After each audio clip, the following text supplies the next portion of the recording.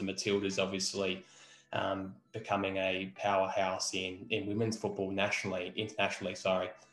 Uh, do you feel like, especially through the, the, the fantastic news of us obviously hosting the 2023 Women's World Cup, how much of an impact do you reckon that has on potentially introducing a, a newer range of you know fans to the game? Because I feel I feel like for years that you know the women's national team has a huge part to play in giving you know I guess maybe the country an ident- a bigger identity in football, considering that you know when the next the World Cup comes here in a couple of years' time, we have we will have for the first time a world event for the world game with all eyes on this country in the women's res- respect. It's arguably a huge moment in one of the biggest moments potentially in um, Australian sports history in recent memory, anyway.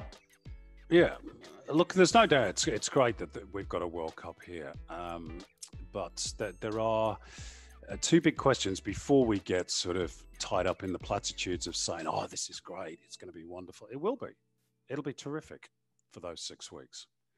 What happens before and what happens after? Those are my two big questions because if you remember in 2015, Australia hosted the Asian Cup and did a really good job of hosting it as well. And people were very engaged with it.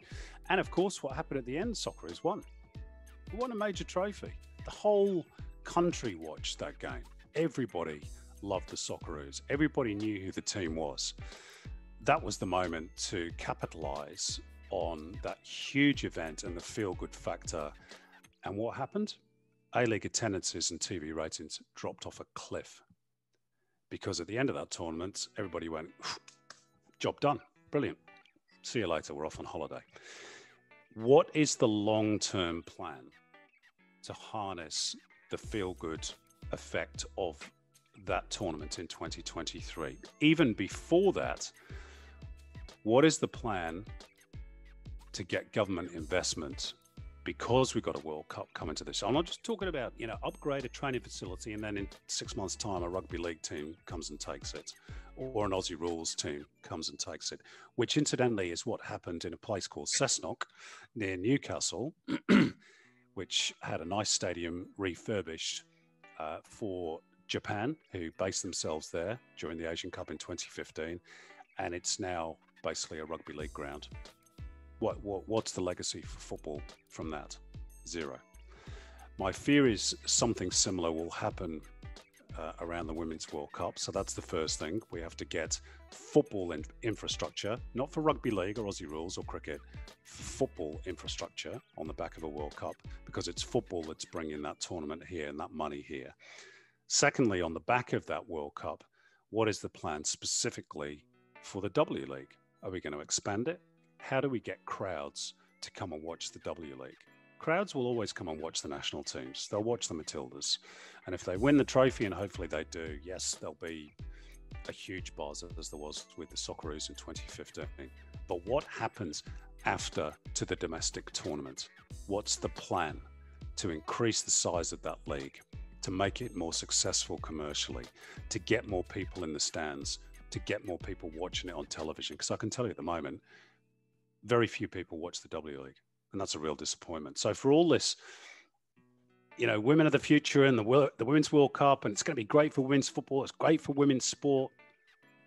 Well, okay, what's the what's the plan? Because at the moment in Europe, the big games in the women's leagues over there are drawing crowds of 30, 40,000. We're lucky if we get three or 400 to some of the games here. So there has to be a strategy. Um, and I'm not trying to be overly negative because it's brilliant we've got the Women's World Cup here. But I don't just want it to be, as it was with the Asian Cup, six weeks of wow, and then let's forget about it and move back to watching cricket and Aussie rules and rugby league. What's the plan for football? Oh, exactly. And that's, we've, we've seen, as you said, we've seen this movie before. It's obviously, we're just seeing, obviously, the next part of this, the sequel, is it is the ending the same really and it's yep. a hard one considering that as you said rugby aussie rules all these sports are so entrenched into our you know national mindset that you know everything takes second place third place fourth place and we still have a huge problem with obviously. But that shouldn't be good enough. For, Sorry to interrupt, Josh. Yeah. You see, for too long we've accepted that. For too long we've gone, oh, we can't challenge rugby league and Aussie rules, and we can't do this, and we can't do that. We've got to start standing up for ourselves. We should have done it in 2015. This is one of the Ange Postecoglou's big frustrations, by the way, that there was no plan moving forward, not just for the Socceroos. So we've got to start standing up for our sport and saying, this is a football World Cup. And, and I've been irritated by some of the language used in promoting this World Cup. It's going to be great for women. It's going to be great for sports. It's going to be great for Australia. What about great for football? It's a football event. What about football in this country? We don't take care of football enough in this country. We didn't after the Asian Cup, and we run the risk, in my opinion, if we're not careful, of doing something similar with the Women's World Cup. There has to be a plan and a legacy for football.